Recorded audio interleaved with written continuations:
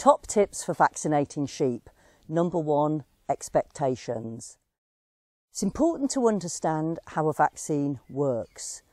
When we inject with an antibiotic, we're relying on the drug we're injecting into the animal to kill the disease. This is not the same with a vaccine.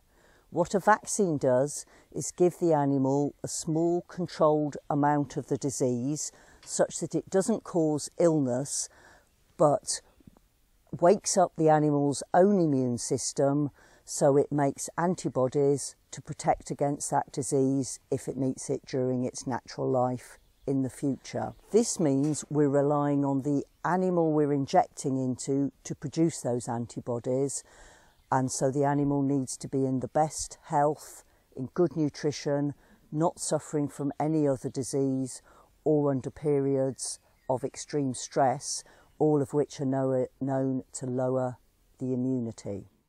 Next top tip is transport and storage.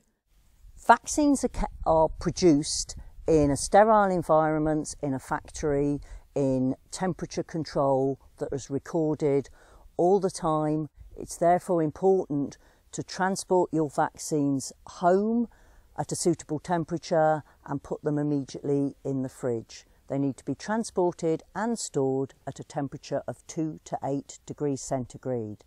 Some vaccines also need protecting from light. The next top tip is on getting your vaccine into the animal.